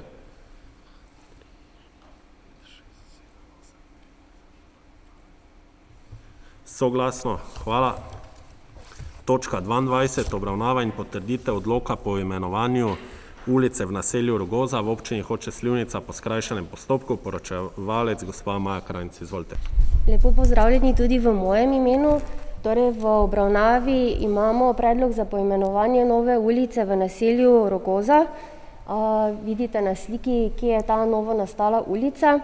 Torej, z strani investitorja gradnje stanovanske stavbe smo dobili na občino pobudo za pričetek postopka poimenovanja tako imenovane nove ulice. On sam predloga ni podal, zato smo se obrnili na krajavno skupnost Rogoza, ki je na eni od svojih sej um, ta naš predlog tudi obravnavala in podala uh, svoj predlog in to je, da bi se nova ulica poimenovala po heroju iz druge svetovne vojne, gospodu Francu Ekartu. Na podlagi tega smo počeli, pričeli postopek, ki je zakonsko predpisan, izvedli tudi javni poziv. V postopku javnega poziva bi lahko prišla tudi kakšna pobuda, predlog, vendar ga občinska uprava v tem času ni prijela. Zato smo nadaljevali z postopkom, sklicali dopisno tudi komisijo za poimenovanje ulic v občini Hoče Slivnica, ki, ga, ki jo je imenoval župan. Ta je tudi soglasno potrdila ta predlog krajevne skupnosti in konc koncev smo na koncu dobili tudi vsa pozitivna mnenja in potrdila strani geodetske uprave in komisije za standardizacijo zemljepisnih imen. Zato občinskemu svetu seveda predlagamo, da potrdi predlog in to je, da se novo nastala ulica imenuje ulica Franca Ekarta. Hvala. Hvala, odbor za okolje in prostor, izvolite.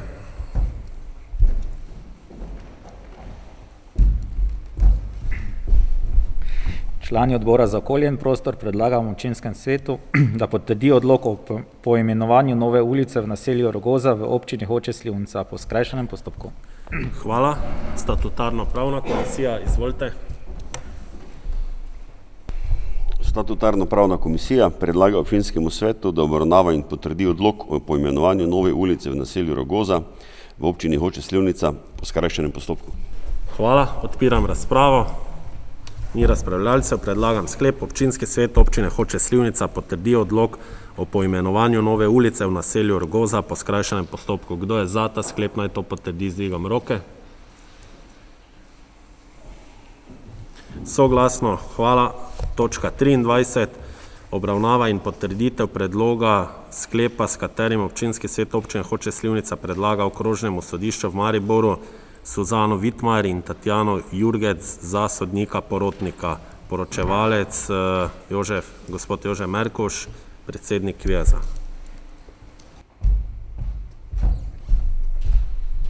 Ja, hvala za besedo.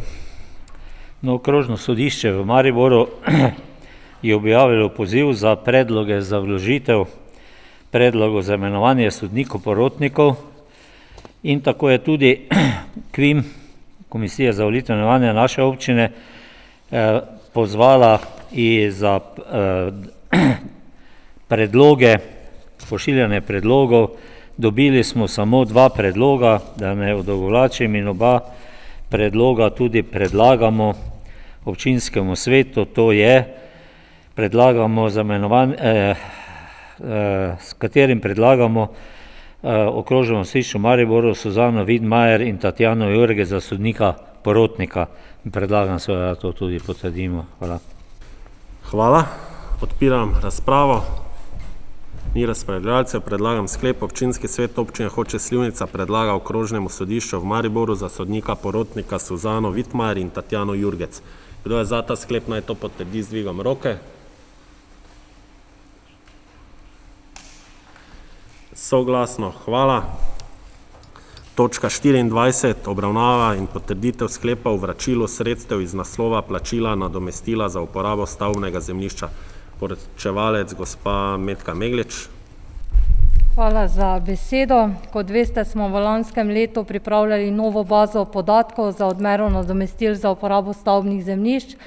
V tej bazi se nam je pripetila ena napaka in sicer odmerili smo eno nadomestilo za objekt, ki v naravi sploh ne obstaja in pa tudi en objekt je bil med tem časom oziroma zemljiška parcela v tem času prodana.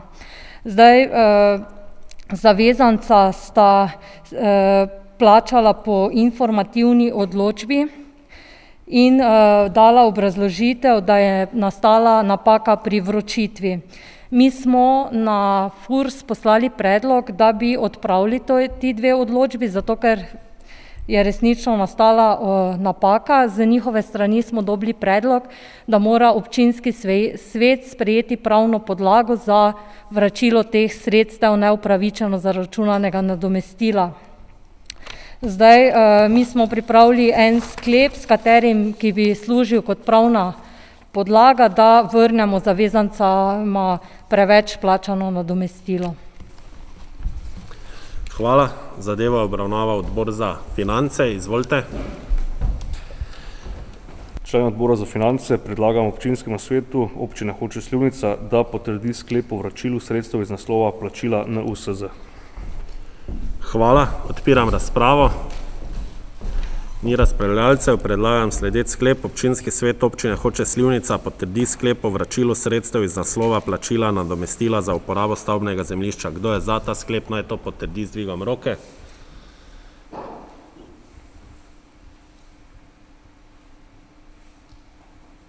Soglasno. Hvala.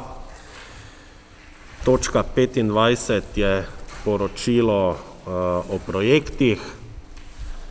Ima kdo kakšno vprašanje na to poročilo? Ugotavljam, da ne. Točka sedemindvajset, vprašanja in pobude. Izvolite, gospod Trstenjak, izvolite. Še enkrat hvala za besedo.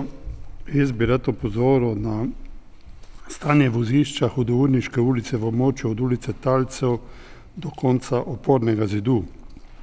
Na večji parceli med Hudourniško ulico in gozdom so se pomladi pričela izvajati pripravljalna dela za komunalno ureditev bodočega, bodoče stanovanjske izgradnje.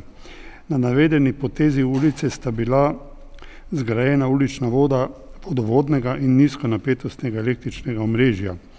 Za te potrebe je bil na tej potezi ulice odstranjen del asfaltnega vozišča povprečne širine cirka meter. Glede na to, da je od zaključka del minilo že več mesecev, me zanima, kdaj bo asfaltna prevleka popravljena oziroma prav bi bilo, bi rekel, da občina izvajalca verjetno mu je dala soglasje k tem, tej izvedbi, opozori, da mora vzpostaviti prvotno stanje.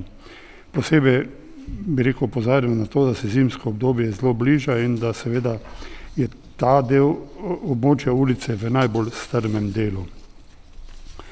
Še eno, še na eno stvar bi rad opozoral, pa ker se ponavlja, in sicer na neustreznost zasaditve nad opornim zidom v tej ulici, ki se razrašča v območje vozišča in pri tem pa seveda zmanjšuje preglednost na tako ali tako že ozkem delu vozišča oziroma cestišča.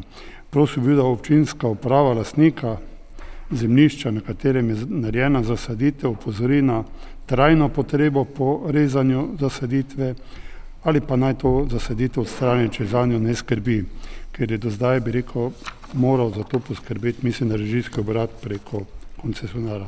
Hvala. Hvala. Glede Hudourniške ceste bo gospod Rafolj poslal vprašanje, pa ko dobimo, bomo pozvali, da to obvezno naredi, ker v primeru, da pride do vzdrževanja ceste s soljo, je, aha, bo kar odgovoril gospod Rafold. Hvala za besedo.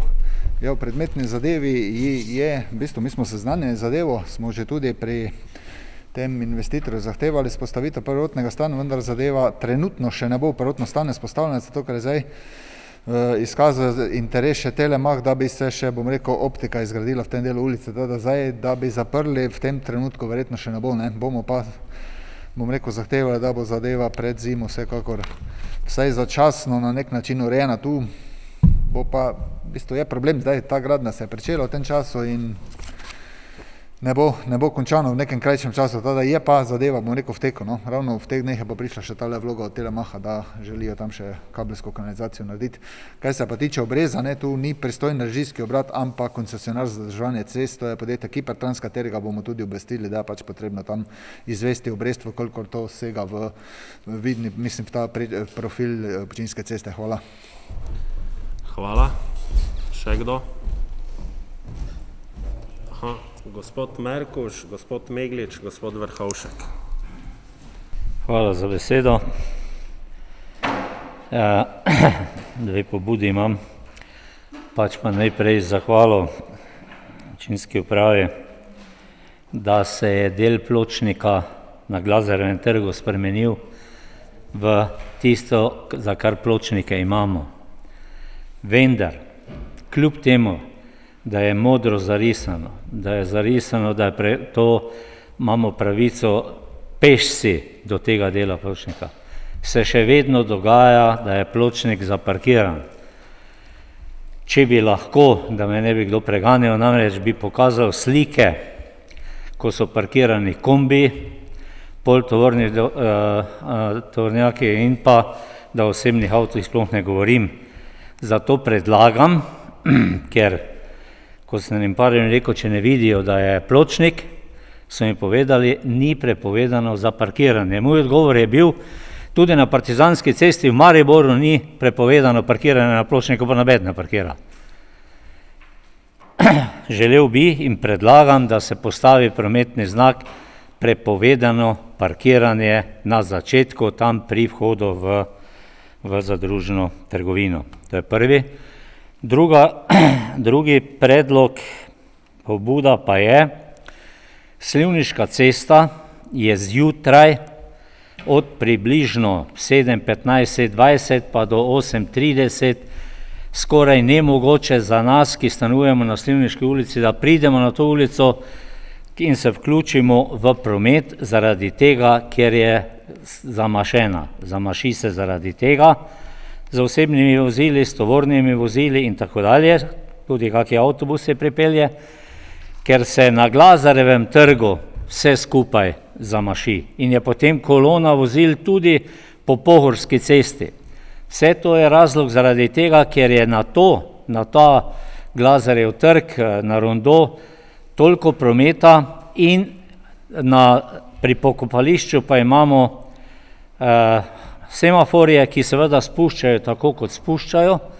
In je škoda, da takrat država ni prisluhnila, ko je bil predlog župana in občinske uprave, da pri zadnji rekonstrukciji te ceste naredijo rondo, kar, kar bi povzročilo pre, boljšo pretočnost prometa kot semafor, da pa bomo lahko in lažje ta čas eh, jutranji in pa čez dan prebivalci Slivniške ulice lahko dobili, predlagam, da se Slivniška ulica od zadnje hiše, gledano iz Glazarevega trga proti Slivnici, naredi dvosmern, naprej pa samo enosmern promet in to samo v smer proti Slivnici.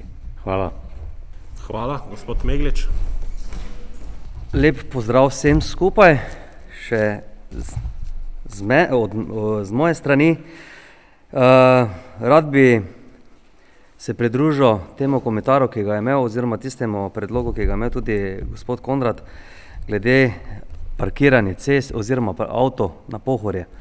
To je res neznosno. Jaz se vsak dan gor vozim, ker pač eh, na srečo živimo na pohorju in vidimo, da tukaj je res ogromno avto, tukaj je neznosno tudi, mislim, tudi okrog, tako da jaz upam, da se bo, da se bo lahko v prihodnje uredilo mogoče kakšno parkirišče ali pa kakorkoli že tudi za te uh, pobiralce gob in, in kostanjev. Uh, druga stvar, kar se tiče te cest po Napohorju, ki sem jo že tudi takrat pisal 15. septembra tudi na občino in še do danes nisem dobil nekega od, konkretnega odgovora, kar se tiče urejanja uh, obcestnih oziroma teh bankin in tistih uh, bom rekel, uh, ovinkov, katere so, katere so kolesnice narete že noter, že zdavne. Ble, jaz vem, da, jaz vem, da uh, koncesionar ima dober namen, dobro delati uh, naprej in urejati ceste, tako se je letos tudi zelo trudo, ampak tako, sem že tudi omenil uh, v samem dopisu, da na ta način, da se cesta utrjuje samo z peskom, samo za tem gramozom, to v hrib ne zdrži dolgo. Pride prvi naliv in to vse skupaj odnese. Se pravi, lahko oni vsaki, po vsakem nalivu hodijo pa, pa delajo na novo, kar se mi zdi nesmiselno, tudi ne za nas, tudi ne za njih. Zakaj? Ker potem ves ta gramos pride na cesto, eh, posledično je kompletno cesta z, eh, nabasana za tem, za tem gramozom, dnevno se vozi ogromno kolesarov gor dol, verjemite mi, da že z osebnim vozilom te na ovinko zanaša, kaj še le kolesara, da ti kateri pride niti, niti zaradi varnosti. Tudi ta dan, petnajstega septembra, je prišlo gor do ene prometne nesreče, hvala bogu je bilo samo pločevina, nič drugega ostalega. in to ravno pod tam pod Bergaverjem, kjer še zdaj stoji vedno tisti smernik oziroma prometni znak, ali kakorkoli že je, ki bi se mogla ta cesta gor urediti, in ne vem, kdaj se bi pač lahko to mogoče preplastilo ali pa kakorkoli že. Gre se zaradi tega, da bomo cesto vzdrževali, zato da jo bomo imeli dalj časa, kot pa da bomo cesto uničili, pol bomo pa delali kompletno cesto na novo. Za to se gre.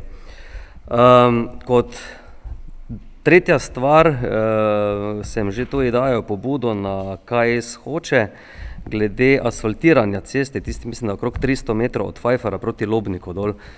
Tam je tudi en, bom rekel, kar velik tranzit vseh teh prebivalcev gor na Pohorju, Hočkem Pohorju, kateri se ogromno vozijo tudi po tem delu dol. In jih tudi zanima, kdaj bi bilo oziroma če bo kakšna opcija, da bi se lahko to kaj uredilo. če smo že na tem koncu bom rekel Pohorskega dvora, je tudi ta cesta katastrofalna, to mogoče tudi gospod Pust ve, ki se tudi vozi vsak dan gor konec drevoreda proti, proti gradu gor, tam je tudi taka plaz, da vsak, kateri se pripeljemo iz te strani gor ali pa se pripeljejo, gremo vsi na levo stran in tam je spet, se pravi, se izmikamo tistemu, tistemu pasu, ki je dolg ene sto metrov. Kot peta stvar, kaj sem malo hodil po, po, v bistvu se sprehajali po, po naši občini in po tej naši lepi potki zdaj, ki gre, ki vodi iz Hoč proti Slivnici, sem pa opazil eno drugo stvar, da recimo čiščenje potokov.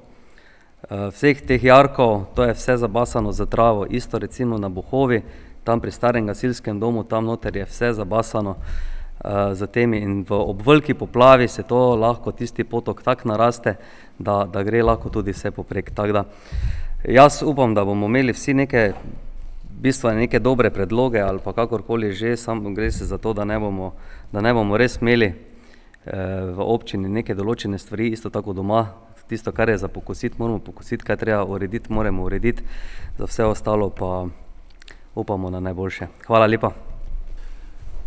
Hvala, je pribeleženo, zdaj glede potokov pa jarkov, tako ko vi pravite, doma je treba urediti, kar je naše, potoki, jarki, obcestni so naši, potoki pa so stvar države, tako da lahko konkretno napišete dopis, pošljete sliko, pošljemo mi dalje na Direkcijo za vode, od tam prihajajo vsako leto isti odgovori: "Ni sredstev." Tako da če lahko kdorkoli po kakšni državni liniji, po strankarski k temu pripomore, lepo prosim. Eh, gospod Vrhovšek, izvolite. Hvala za besedo. Eh, strani gospoda Jorančič Vladimira sem prejel pobudo, da na občinskem svetu pod pobudo in vprašanje predstavim problematiko nekategorizirane ceste v zgornjih hočah, odsep Klinc Rečnik. Na parceli 182 skozi 27 Kaos 697 Zgornje Hoče. Uporabniki so ta del zemljišča predali v do, javno dobro in z Kipertransom so to dejansko tudi uredili, tako da je sedaj ta del vozišča v dolžini cirka 95 metrov dan v javno dobro. Cesta sama se nahaja na zelo strmem področju in posledično pomeni odlašanje materiala iz neurejenega vozišča. Dogovori za rešitev te problematike med Občino Slivnica, uporabniki potekajo in upam na ustrezno rešitev. Tudi strani Krajevne skupnosti Reka Pohorje sem prejel zapisnik sestanka, na katerem so obravnavali prej navedeno cesto glede sofinanciranja asfaltiranja in predlagam, da, da dam predlog v obravnavo, da se v rednem postopku ta cesta tudi uredi. Hvala. Hvala. Z gospodom Jurančičem smo imeli več sestankov, razložen mu je bil princip, povedano čisto po domače, tisti, ki zadnji pride, ne dobi prvi ceste. Na Pohorju imamo trideset kilometrov neasfaltiranih cest, ljudje tam živijo trideset, štirideset, petdeset, sto let in cest ni, tako da bomo sledili tistim, tudi strme so, enako kot tu, lahko pa vsak da, ko bo proračun v javni obravnavi predlog, zdaj upoštevali, prebrali bomo vse, upoštevali bomo pa tisto, če bo nekdo napisal v obliki, ne rabi biti v amandmajski obliki, ampak kaj ne bi izvedli, kaj bi. Torej nekdo pač mora reči, ne bomo izvajali vodovoda planinka, dajmo narediti to in to cesto, ne vem, ne bomo več subvencionirali kosil v šoli, dajmo narediti cesto ali podobno, karikiram. Še kakšna pobuda, vprašanje? Hvala, s tem zaključujem trinajsto redno sejo. Danes se s tem poslovimo, se ne družimo skladno z, z odlokom vlade in navodili NJZ. Ostanite zdravo, lep večer še naprej.